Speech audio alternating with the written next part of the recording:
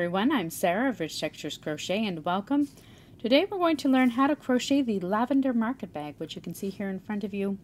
This is the first market bag in the Marvelous Market Bag Crochet Along uh, that I'm hosting here on my YouTube channel and on my blog at richtexturescrochet.com.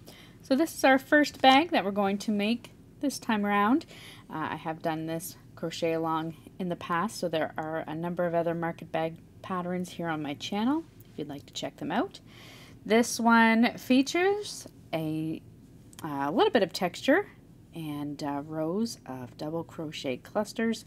It's fairly easy to work. It's worked from the bottom up, all as one piece, including these handles when you come up to the top. For the pattern today, I'm going to be using some Pima Cotton by Lion Brand yarn. It's a worsted weight, 100% cotton.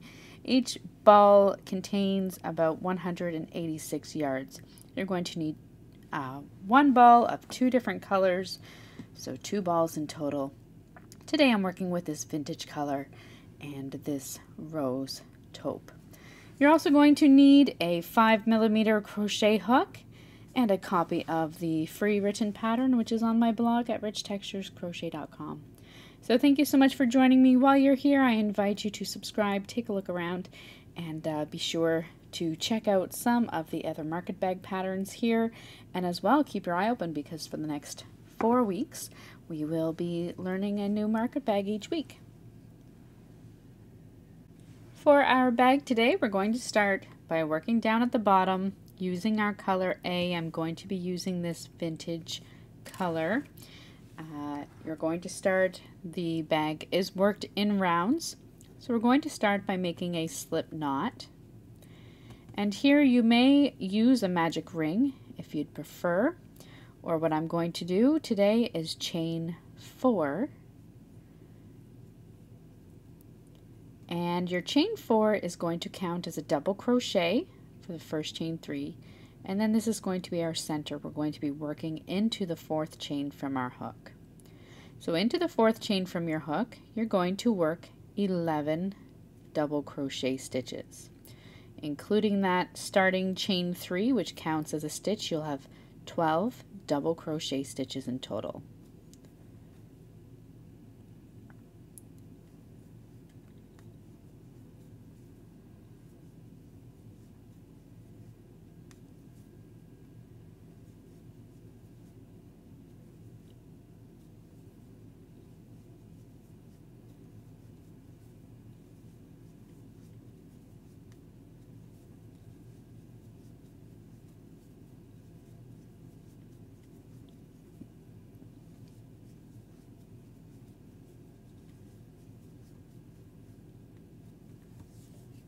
There's 10 and 11 double crochet.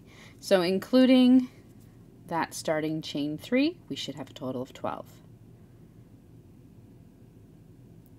Once you have your 11 double crochet and your chain 3, you're going to join with a slip stitch into the top of that starting chain 3. For round 2, you're going to chain three, this counts as a double crochet stitch, and work a double crochet back into the same stitch as joining. You're then going to work two double crochet stitches into each stitch all the way around. At the end of this round, you can join with a slip stitch into the top of your first stitch, your chain three, and at the end of this round you'll have a total of 24 double crochet stitches.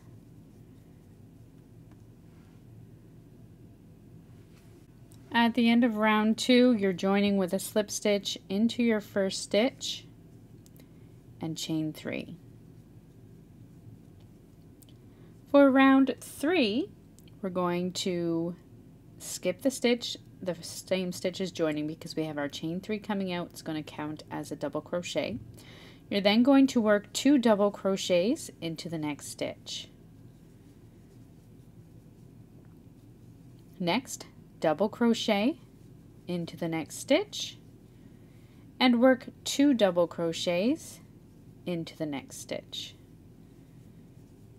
You're going to repeat that all the way around. One double crochet into the next stitch, followed by two double crochets into the next stitch, all the way around. When you come to your first stitch, join with a slip stitch into the top of your first stitch. At the end of this round, you'll have a total of 36 double crochet stitches.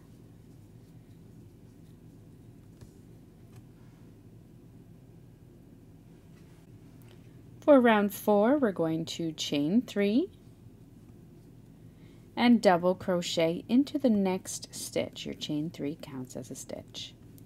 You're then going to work two double crochet stitches into your next stitch. Next, work one double crochet in each of the next two stitches and then work two double crochet stitches in your next stitch. You're going to repeat this all the way around, one double crochet into each of the next two stitches, followed by two double crochets into your next stitch. When you come all the way around, join with a slip stitch in the top of your first stitch and at the end of this round you'll have a total of 48 stitches.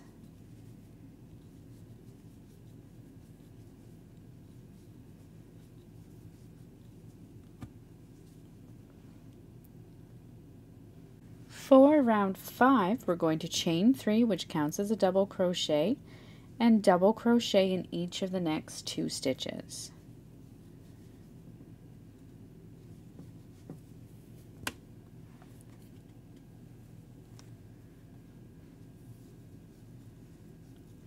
work two double crochets into the next stitch You're now going to work one double crochet into each of the next three stitches.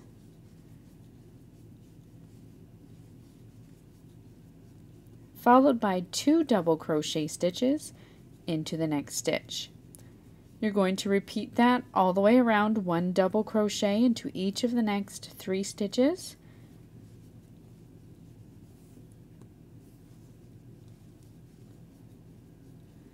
followed by two double crochets into the next stitch. When you come all the way around, join with a slip stitch into the top of your first stitch. At the end of this round, you'll have a total of 60 stitches.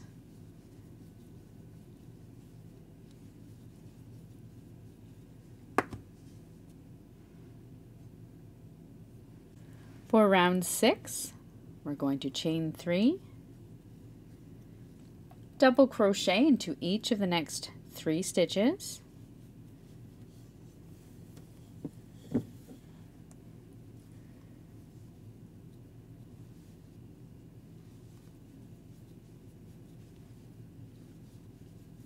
and then work two double crochets into the next stitch. Next, work one double crochet into each of the next four stitches.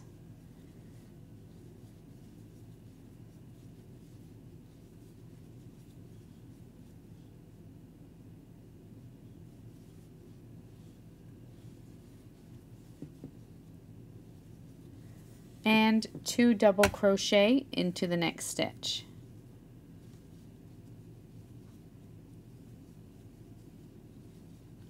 You're going to repeat that all the way around one double crochet into each of the next four stitches.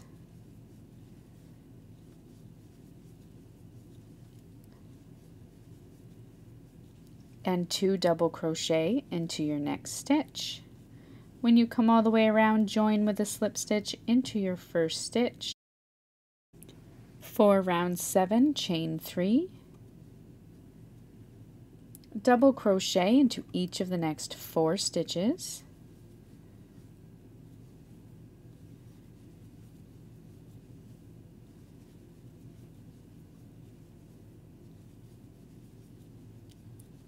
and work 2 double crochet into your next stitch.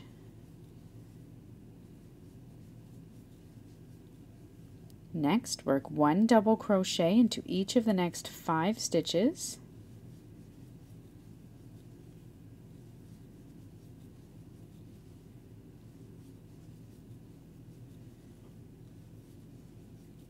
and two double crochet into your next stitch. You're going to repeat that all the way around, one double crochet into each of the next five stitches.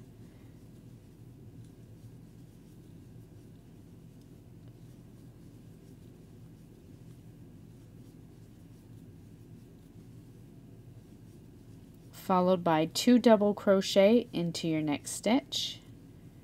All the way around when you come to your first stitch join with a slip stitch into the top of your first stitch. And at the end of this round we'll have a total of 84 stitches.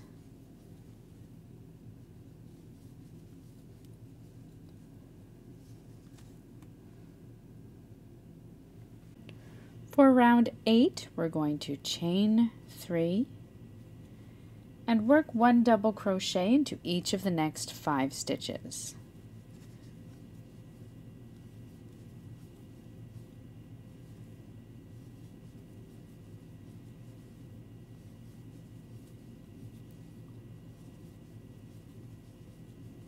Work two double crochet into your next stitch. Next, we're going to work one double crochet into each of the next six stitches.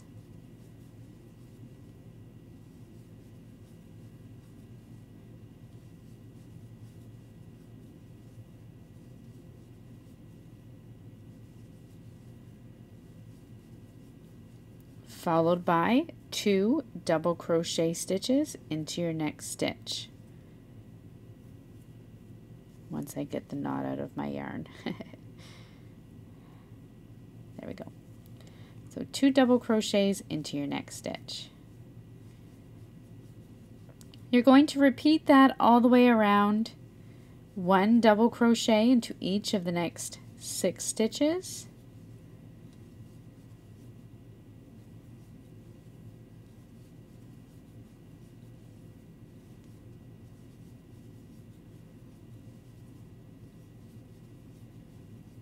Followed by two double crochets into the next stitch.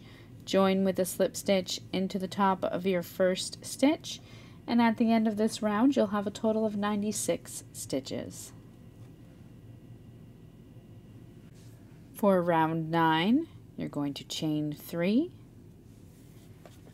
work one double crochet into each of the next six stitches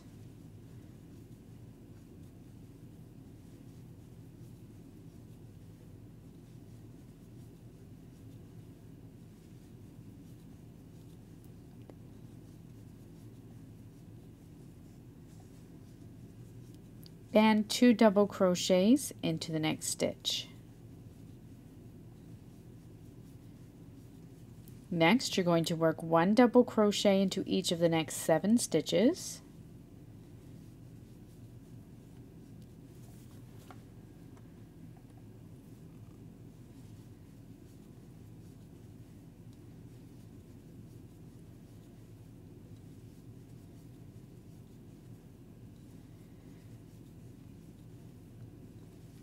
And then two double crochets into your next stitch.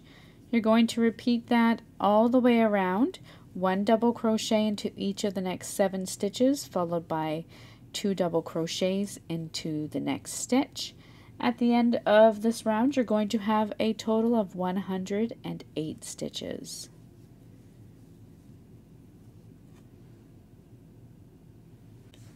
For round 10, chain 3, double crochet into each of the next seven stitches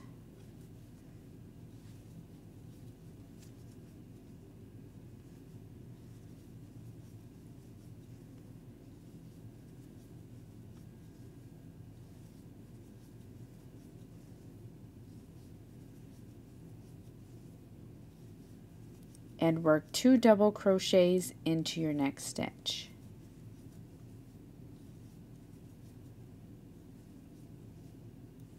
Next, double crochet into each of the eight next eight stitches.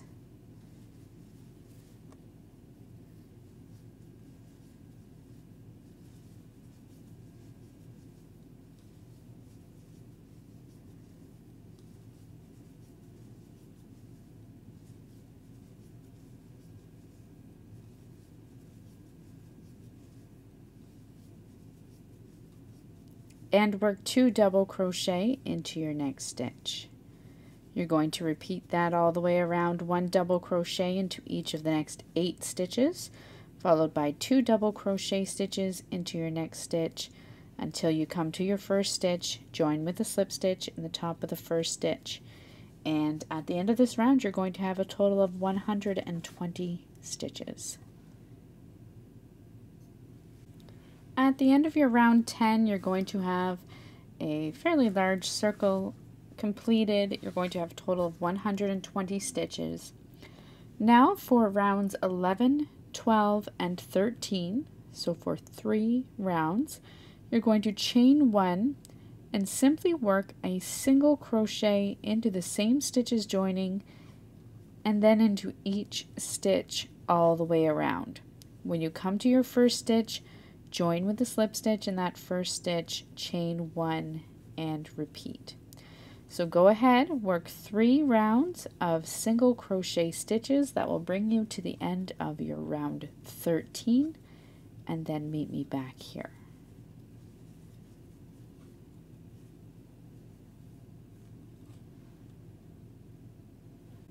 Once you have completed your round 13, this is what your bag bottom is going to look like when it's folded over.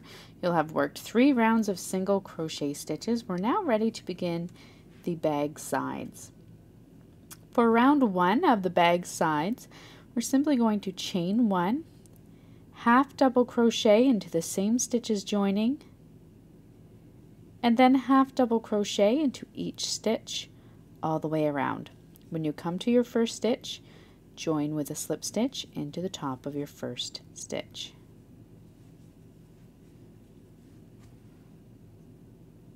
At the end of your round one, for your bag side, you're going to join with a slip stitch into your first stitch. For round two, chain one. Now for round two, we're going to work half double crochet stitches in each stitch all the way around, working in the third loop. So here I have the front of my half double crochet stitches facing me. But when I look at the back, underneath this back loop only, there is a loop that runs just below it. And this is our third loop. So we're going to work our stitches working into this third loop only. So into each stitch in the third loop only work a half double crochet stitch all the way around.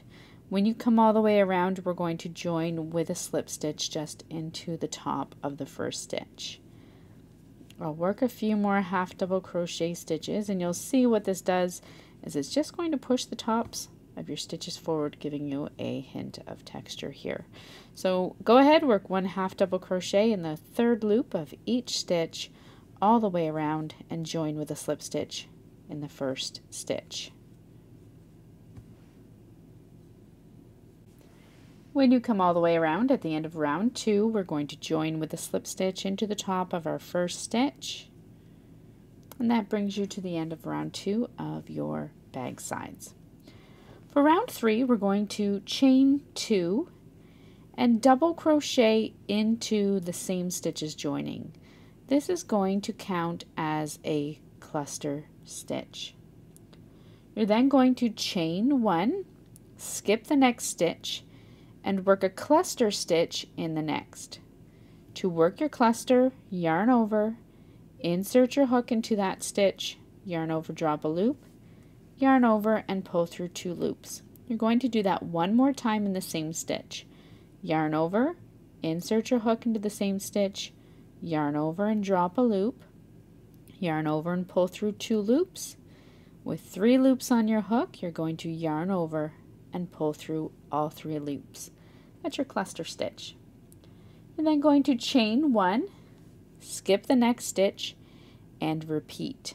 Cluster stitch, into the next stitch.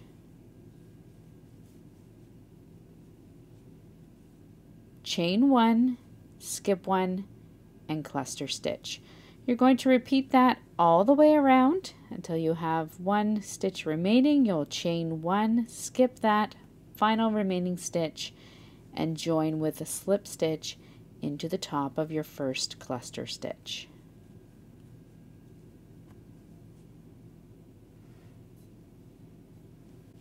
At the end of round three, you've chained one, skip one, join with a slip stitch into the top of your first cluster stitch.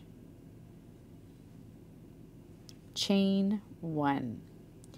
For round four, we're going to single crochet into the top of the first cluster stitch and into the next chain one space. You're now going to single crochet into the top of each cluster and into each chain one space all the way around. When you come all the way around, you're going to join with a slip stitch into the top of the first stitch.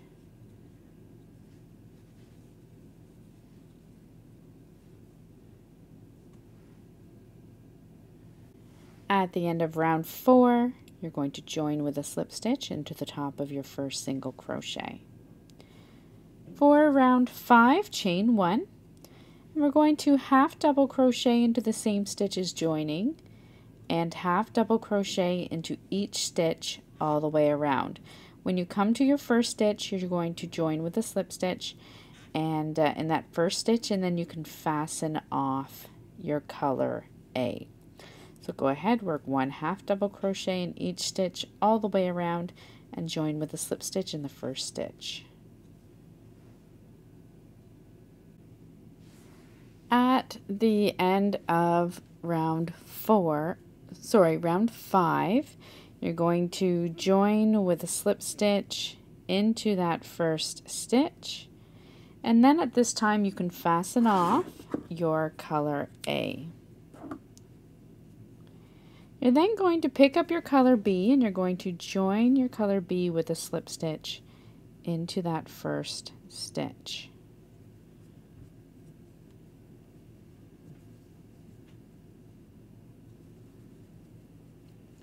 For round six, working with our color B, we're going to once again work half, a half double crochet into that same stitch as joining working in the third loop and then half double crochet working in the third loop of each stitch all the way around. So half double crochet in the third loop only of each stitch all the way around. When you come to your first stitch, you're going to join with a slip stitch into that first stitch.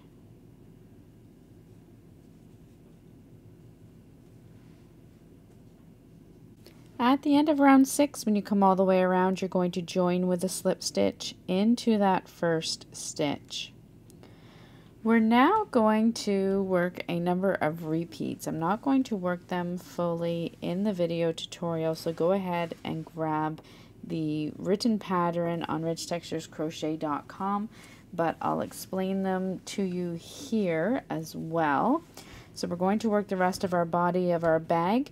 You're going to continue working with your color B for rounds 7, 8, 9, 10, and 11. And you're going to repeat your rounds 2 to 6. And then you're going to switch to your color A uh, in that re repeat of round 5. And then for rounds 12 to 16, you're going to continue working with your color A. And then rounds 17 to 21, repeat your rounds 2 to 6 uh, for your color B. And then you're finally going to switch back for your color A and work one more repeat of rounds 2 to 5. And uh, that will bring you to the end of round 25.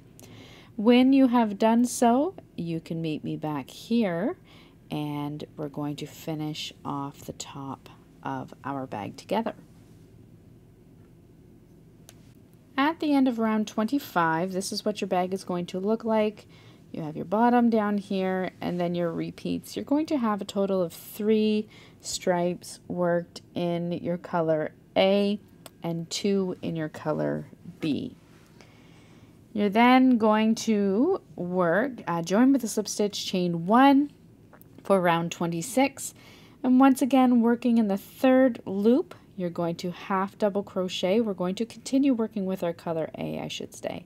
So working with your color A, half double crochet into the third loop of each stitch all the way around. You're then going to join with a slip stitch just into the top of that first stitch.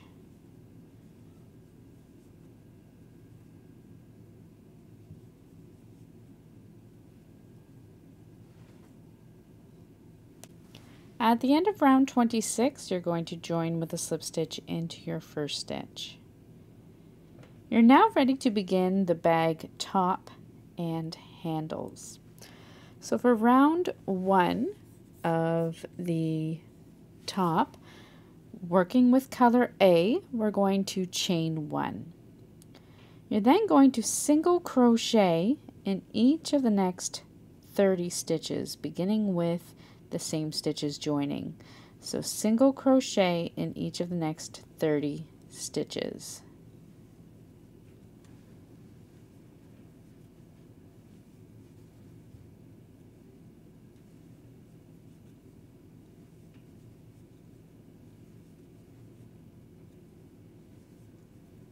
There's 10.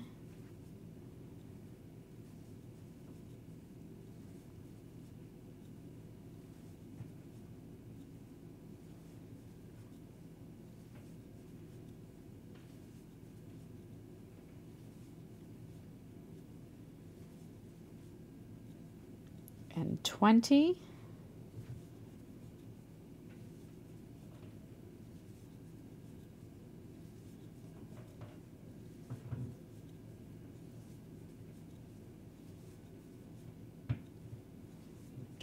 Twenty-eight, twenty-nine, and 30. Once you have worked a single crochet in each of the next 30 stitches, you're then going to work your first handle. I should say the foundation chain for the first handle. So you've single crocheted in 30 stitches, you're now going to chain 40. You can change the length of your handle if you would like by chaining more or less. Just remember to make note of it for when you come across to the other side. The other thing to take note of while working these chain stitches is to keep them fairly loose because we're going to be working into them later.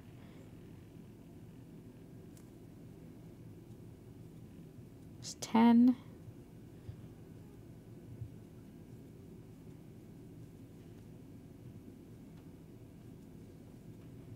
Twenty,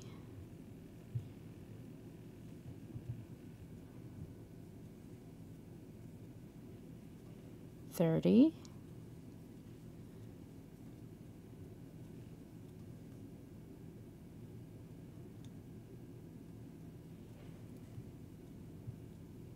and 40.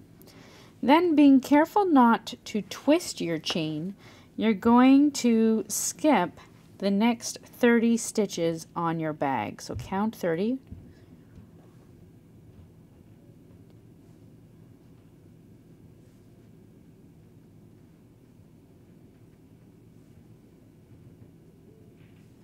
Then into each of the next 30 stitches, you're going to work one single crochet.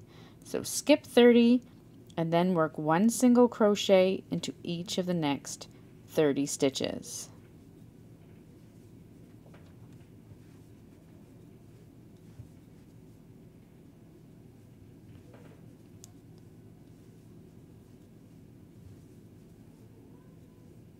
There's 10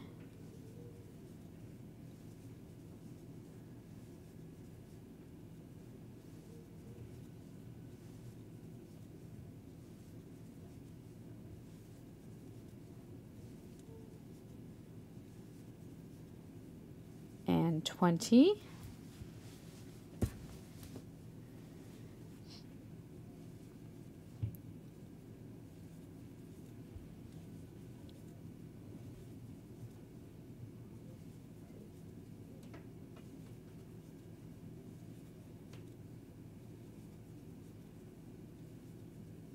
and 30.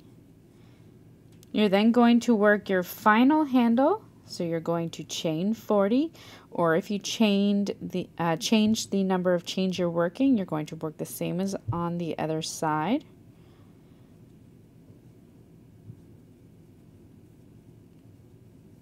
There's 10.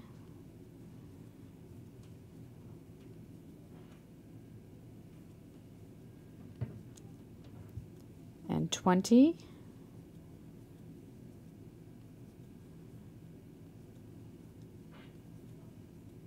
30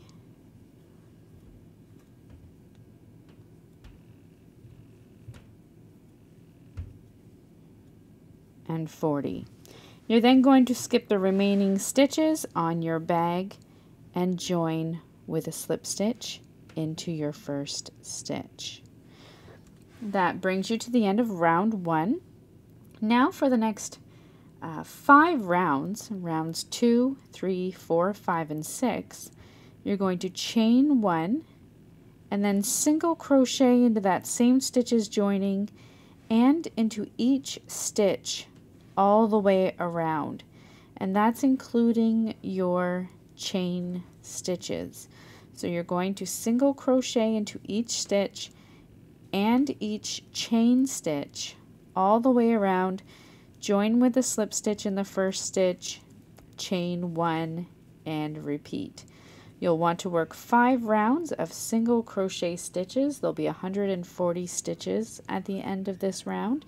And then you're going to fasten off, weave in your ends, and your lavender market bag is then complete. So that's all there is to working this bag. Thank you so much for joining me. And uh, once again, I invite you to subscribe, take a look around, and I look forward to seeing you again next week for another great market bag pattern. Until then, happy crocheting. Bye.